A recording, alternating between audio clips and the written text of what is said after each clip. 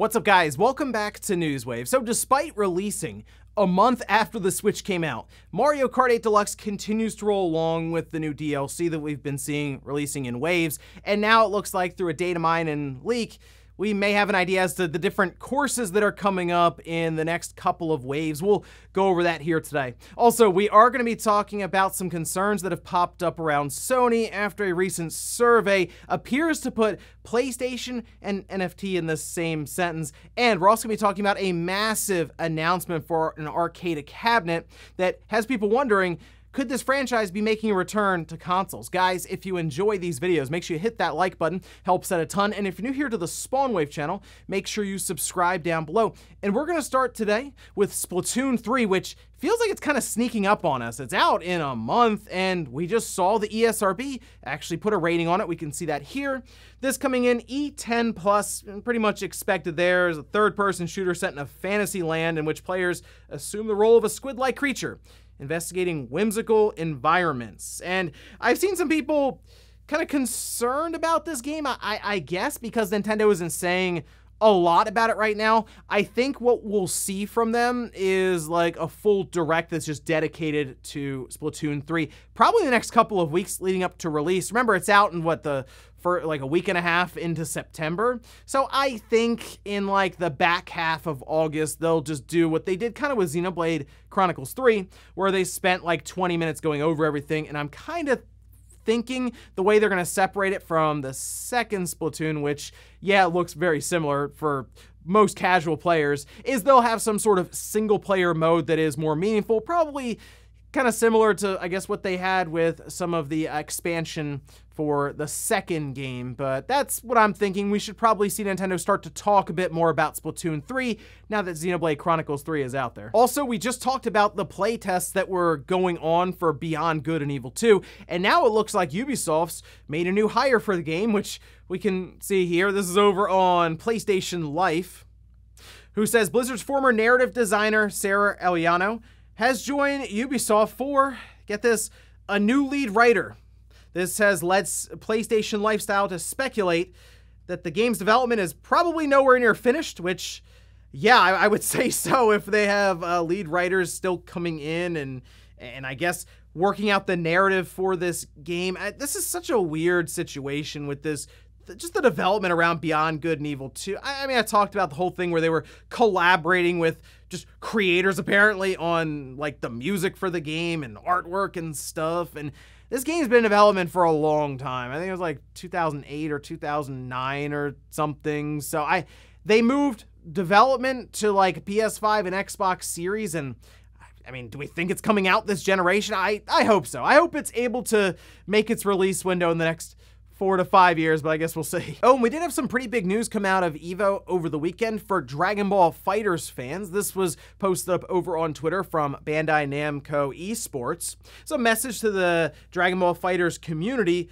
where they talk about rollback netcode being applied to the game through an update. They didn't give a specific date for that happening, just later on this year we should see it. And it's going to be coming alongside of a native version for the PS5, the Xbox Series, and they also mentioned that there would be an like a like a upgrade path, which We've seen this vary from free all the way up to the Atlus method of buy it again. So I'm hoping this is just a free update and they'll probably just put PS5 and Xbox Series box arts and stuff on store shelves.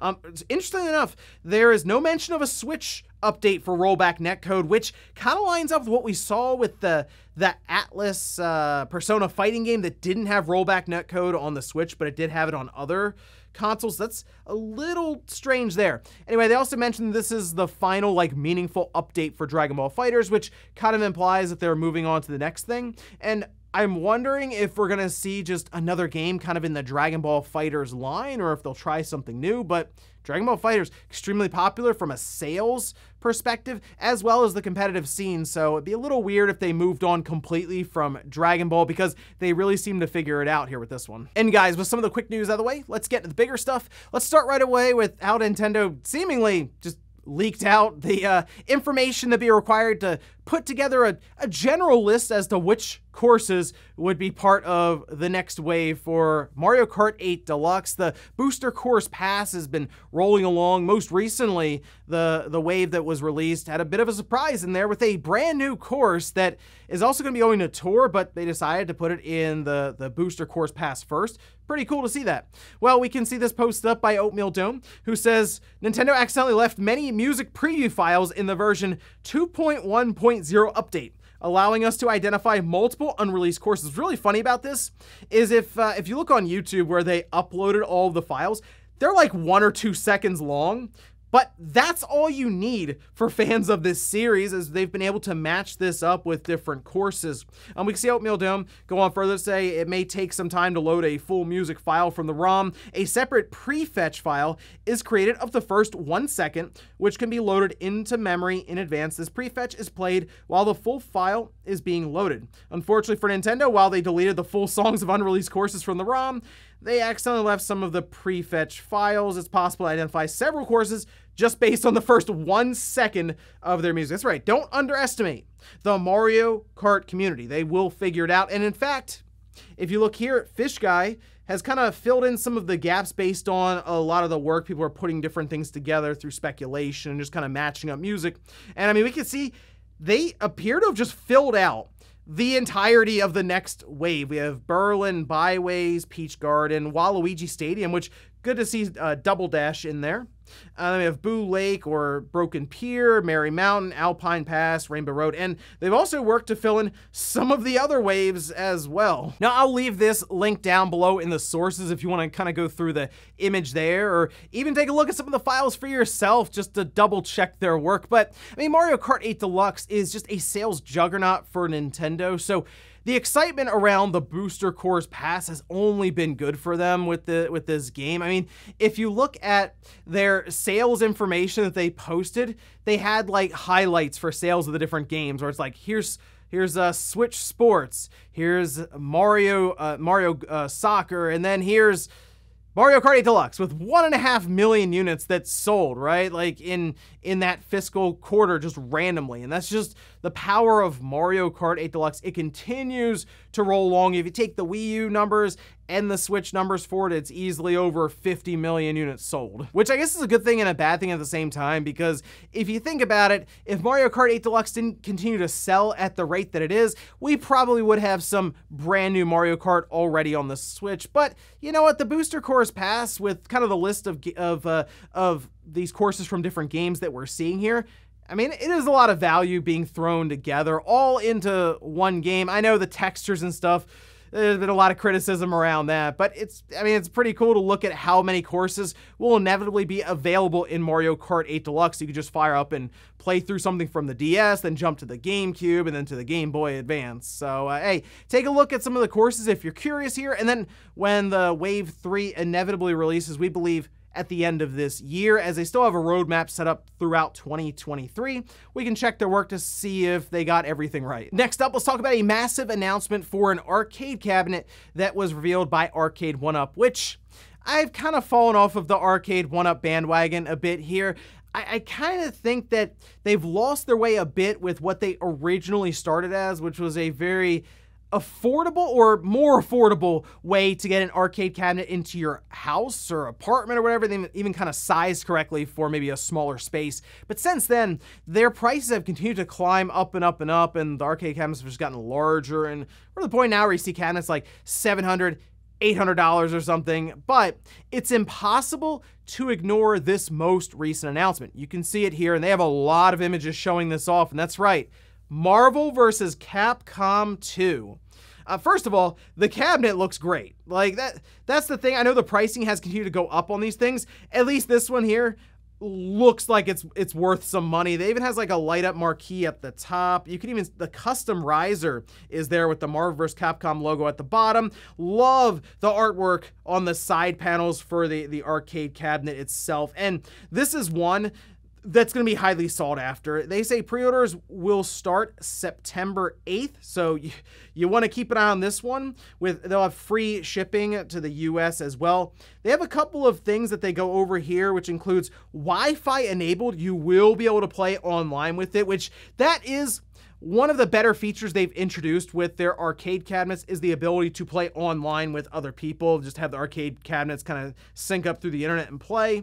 And it's not just going to have Marvel vs. Capcom 2 in the cabinet. It'll have eight titles total. They have the list here with uh, MVC2, then Marvel vs. Capcom, Marvel Superheroes vs. Street Fighter, X-Men vs. Street Fighter, Marvel Superheroes, X-Men Children of the Atom, X-Men Mutant Apocalypse, and Marvel superheroes in War of the Gems. And I'll admit, even though I've kind of fallen out of the whole arcade one-up thing, I really want this cabinet. I mean, it's Marvel vs. Capcom 2, which has gone through a, a, whole history on its own of being delisted and ripped off of consoles, and you can't buy it on the current systems, but it's an arcade classic that's worth making sure you break out the Dreamcast and get the CRT out to play it. So, I, I'm looking at this now. I'm expecting it to be quite a bit of money, because the the licensing, all the stuff that goes into this. Uh, it's it's going to be interesting when they drop that price tag, and there's probably a reason that the price tag isn't up on their website as it is now. But again, coming back to Marvel vs. Capcom 2, this getting announced really got people excited because of the idea of it maybe making a return to current systems. There's the whole campaign of free MVC2 going on to the point where there's just a website you can go to and kind of take part in it with a hashtag and all this. So the fan base really wants this to happen. The fact that we see some sort of movement here with Arcade 1-Up, which they've had some of the Marvel vs. Capcom or Marvel games kind of in their cabinets before, but this is like the next level for it. So we'll see if there is any kind of movement on the console side, because while it'd be great to get the $800 cabinet.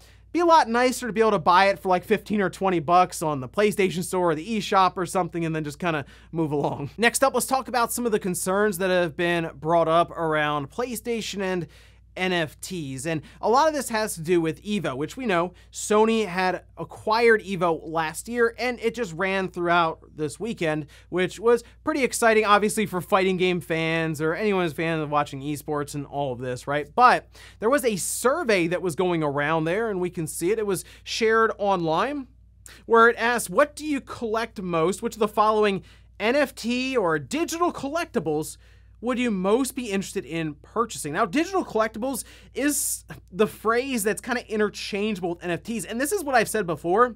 If any of these larger companies want to adopt basically NFTs, they would change the name to something else. And it kind of seems like digital collectibles might be uh, one that softens the blow of, of uh, kind of getting involved with NFTs. But says Evo branded, okay, favorite music artists, favorite esports players or teams, PlayStation items, favorite game. Wait a minute. PlayStation items. This is the thing that really seemed to concern people. This was kind of a survey question that they had set up to be part of like uh like like an app as like the experience there. You go through it, you, you get some reward and stuff for filling it out. But the fact that you see PlayStation items in there, we know about PlayStation Stars, which has digital collectibles as part of it. Now, Sony was very quick to come out and say, no, no, our digital collectibles for PlayStation Stars is not NFT related. They that very fast because people saw it and they were like, wait a minute, this this sounds like NFTs, but they're not being as straightforward as GameStop, who was running an entire marketplace, which if you followed their their their their involvement with this hasn't been great. It's been bad headline after bad headline after bad headline. Let me show you the most recent one. Take a look. This was posted up over on Eurogamer.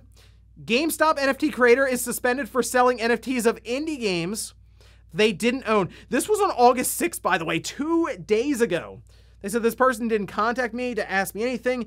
He just took my game and sold it. This was on GameStop's marketplace. And that's the biggest issue right now is just NFTs, while the underlying technology is just making something in the digital space unique, it's it's being used for all kinds of wild and, and crazy and out there stuff that comes back to basically being scams for the most part, right? It's the Wild West currently in the early days of this all digital metaverse internet thing that people are attempting to build here. And just the reputation around a non fungible token is just completely destroyed before it's even really gotten moving for something that's actually useful. So to see PlayStation and NFT kind of in the same area with that uh, survey that's from Evo, which in turn is owned by Sony, I understand why people would be concerned by that, but we've seen surveys get passed around all the time for different things from gaming companies, and nothing ever comes from it. They might just be gauging interest. How many people are going to check PlayStation items for NFTs or digital collectibles? Which, hey, I guess if a lot of people attend EVO and check that box, then maybe Sony will take another look at it. But I just, I still don't think Sony is looking at NFTs as they stand now as something they want to attach their name to currently. Again, after they had to come out and quickly put out the fire around digital collectibles with PlayStation Stars, I don't really think they're interested in running headfirst into NFTs right now. And in our last bit of news, let's talk about Call of Duty Modern Warfare 2 coming out at the end of October. And there are still many things I'm sure that they are looking to show off when it comes to the multiplayer side. And they also want to talk about some of the early access stuff that'll be going on when it comes to a closed beta and then an open beta. And it looks like they'll be running an event next month to go over a lot of this. We can see this. This was posted up over on callofduty.com. It's Call of Duty Next next. It's uh, happening September 15th. Uh, they say this will talk about Call of Duty and what the imminent future looks like. Obviously, that would include details around Modern Warfare 2, as well as Call of Duty Warzone, which we hear that there is a new Call of Duty Warzone, a follow up Warzone 2 that apparently is coming out at the end of this year, at least in the next 12 months or so. We'll, we'll see there. And then also them talking about the mobile version of uh, Call of Duty Warzone. They're going to do a full Modern Warfare 2 multiplayer reveal, which let's face it, that's why like 90% of people play Call of Duty now is for the multiplayer. And they also have a list of some of the different dates for getting early access to the game if you want to take part in the beta. We have the first weekend, which is PlayStation exclusive. We know Sony has the marketing deal with them for the next uh, couple of years, so this is what we basically expect, where PlayStation will get first dibs September 16th to the 17th. And then there'll be an open beta September 18th to the 20th. Weekend two will be a cross-play beta, and that will include Xbox, PC, and PlayStation. And then we'll have all platforms. This will take place September 22nd to the 23rd, and then September 24th to the 26th. Now, keep in mind, the betas are essentially a way to get you to pre-order the game ahead of time, as they mention here that beta codes will be tied to your Activision account and will be needed to participate in these different betas. And after what we saw with Call of Duty Vanguard, which seemed to disappoint a lot of people, I think there's a, a lot of pent-up excitement for Modern Warfare 2. I mean, one, it's Infinity Ward. Two, it's Modern Warfare. So I feel like the betas, whether they're closed or open, will probably get crushed. I'm sure there'll be some network issues thrown in there, but just keep these dates in mind. I'm sure they'll talk more about it during the Call of Duty Next event on September 15th, so keep an eye out for that. And before we go to the comment of the day, we're take a look at the poll that I posted up yesterday, where I ask, have you purchased an arcade one-up cabinet? 7% said yes, I own at least one cabinet. 31% said no, but I'm interested if they announce a certain game. And then 62% said no, I'm not interested in arcade cabinets. So the game that I had in mind that was like, I'll come back, I'll pick it up and check it out would be Time Crisis. Like with the actual gun cons and all this, I maybe even the pedal. I know that, that could be kind of cool. But Marvel vs. Capcom 2, I was not expecting that at all. So let me know if that is a game that made you double take and go, oh, maybe I should get one of these arcade cabinets from 1UP. And we'll finish up with the comment of the day as you're seeing here. This is from Gaz says, I believe Nintendo would be better off treating the Switch like the DS and keep on revising it for the next couple of years at least. When you're on a roll, keep going. A new system will be needed in time, whatever the form. I hope they double down on the hybrid console concept works for me. I think we all hope they double down on the hybrid console concept. I would prefer the move that they did with the DS to the 3DS, where they still kept the idea of the DS, the dual screen display. They had like 3D attached to it that could be turned off anyway, and they they worked up the account system and stuff because remember they brought in the kind of the eShop stuff with the DSi, but then they really worked to refine it um, with the 3DS. That's sort of what I'd like them to do with the next Switch, whatever that is, whether it's a revi revision or just like a clean break to the next generation. Don't overthink it, Nintendo. You got it figured out here with this hybrid concept. Just work on refining it further. And ladies and gentlemen, that's to do it here for Newswave. If you enjoyed this video, guys, hit that like button. If not, hit the dislike. Leave comments down below about everything we talked about here. Today was Mario Kart 8 Deluxe. Have you been enjoying the couple of waves that have released from the Booster Course Pass? And did you get a chance to go through the one second audio clips of music to double check their work? And then also, what about Arcade 1-Up? Were you surprised about Marvel vs. Capcom 2's arcade cabinet? And are you picking it up? Thanks guys for watching, and I'll see you next time.